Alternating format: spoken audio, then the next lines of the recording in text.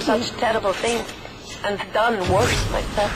Thank you for reminding me that the light of the world has not yet been snuffed out. I am sending a little one to help you on your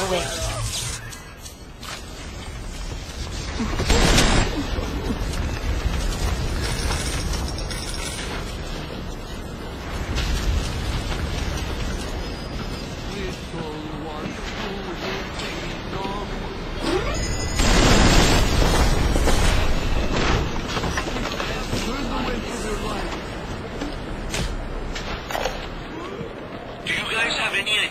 is a warlord, if you don't follow proper maintenance of those big daddies, they burn through those R-34s like them Eve's apple berries go through penicillin. I've got Atlas's coons hitting us non-stop at two test mechanics just this week. We need to control costs.